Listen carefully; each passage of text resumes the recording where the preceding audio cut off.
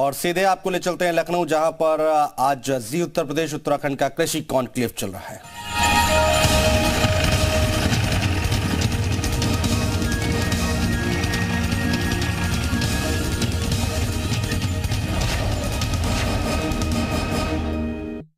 करते हुए संवर्धित करने का काम कर रहा है।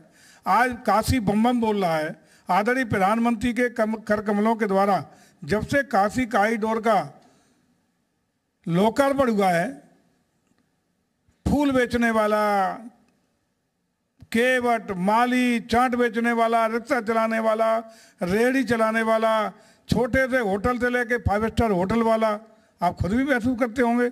वहाँ जो पाँच सौ रुपये कमा के घर जाता था पाँच हज़ार रुपये शाम को घर लेके जाता है। होटल बहुत महँगे हो गए जो तीन हज़ार में मिलते थे अब वो आठ हज़ार में मिल रहे हैं। आठ हज़ार वहाँ होटल में आपको जगह नहीं मिलेगी।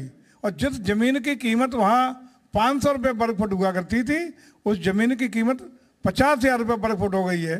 काशी बम बम बोल गया है लेकिन अखिलेश जी को कुछ दिखाई नहीं पड़ता। आपने काशी कहा सनातन पे खुश होना चाहिए लेकिन उनके पास स्वामी प्रसाद मौर्य कैसे खुश हो जाएँगे?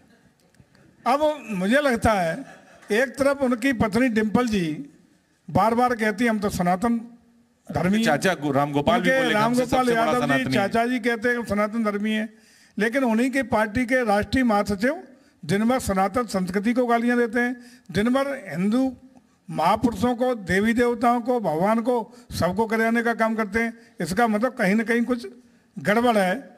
या तो जानबूझ के गाली दिलवाने का काम अखिलेश जी करा रहे हैं। या जानबूझ के इस तरह का खुद सनातनी नहीं हो सकते, कहीं ना कहीं कुछ गड़बड़ है। दो दो दो चीज़ एक साथ नहीं चल सकती। लेकिन दोनों कंफ्यूजन चल है क्या? कुछ कंफ्यूजन है क्या कि इधर इधर कहेंगे तो उधर वाला वोटर नाराज़ हो जाएगा उधर कहेंगे तो इधर वाला वोटर नाराज़। इस वजह से कंफ्यूजन है क्या? हंड्रेड परसेंट कहीं ना कहीं कुछ है।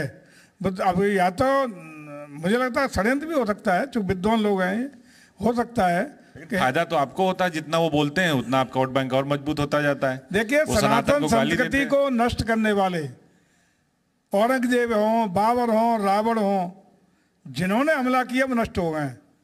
निश्चित रूप से यकीन रखिए कि आने वाले 2024 में जो जो सनातन संस्कृति को गरियाने का काम कर रहे हैं, इनका सर्वनाश और विनाश जनता हिंदुस्तान की करने का काम ज़रूर कर देगी। अच्छा ये बताइए अब अयोध्या में राम मंदिर भी बन रहा है। राम मंदिर को लेकर भी खूब विपक्ष आरोप लगाता है कि आप राम के नाम पर होटलें लेते हैं।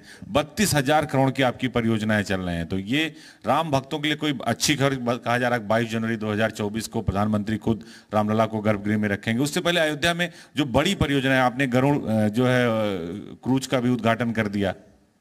देखिए अयोध्या को भव्य दिव्य अलौकिक अयोध्या बनाने का सपना हम लोगों का है।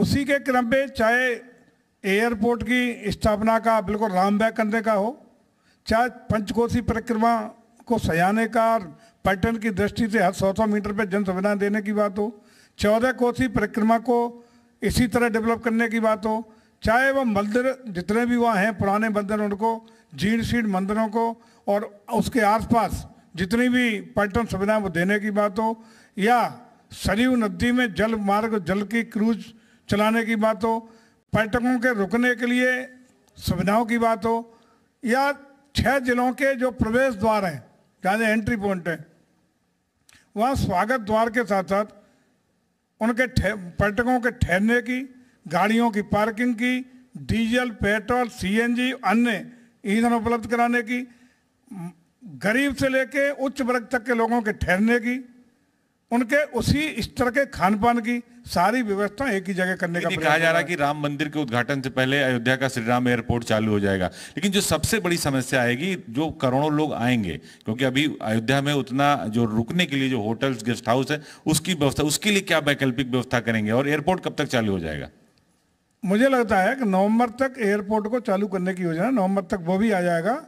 और ये तमाम होटल भविष्य में पर्यटकों की आवक की असंख्य संख्या के दृष्टिगत वहाँ बहुत सारे होटलों के ट्रिपल पी पर कुछ निजी होटल अलग अलग लोग इन्वेस्टर अपना काम करा रहे हैं।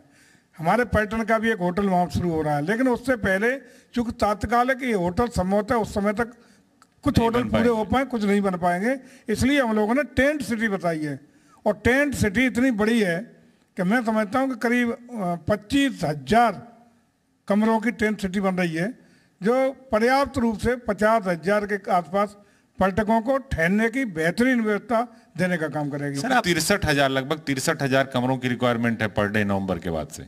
अकेला हमारा टेंट सिटी पच्चीस हज़ार से एक टेंट सिटी बन रही है और हम समझते हैं दूसरी टेंट सिटी का भी प्लान चल रहा है वो भी। लेकिन हम इतनी व्यवस्था ज़रूर करा देंगे कि जब अयोध्या में जनवरी के महीने में भव्यता और दिव्यता के साथ राम मंदिर का लोकार्पण का कार्यक्रम होगा उस समय तक सारी योजनाओं को पूरी व्यवस्थित करने का प्रयास होगा तो कोई भी आगंतुक, कोई पर्यटक, कोई श्रद्धालु बेहिचक, बिना परेशानी के, सुगमता के साथ वहाँ ठहर सके, आवागमन कर सके, ये हम पर्याप्त व्यवस्था करने की प्रयास कर रहे हैं।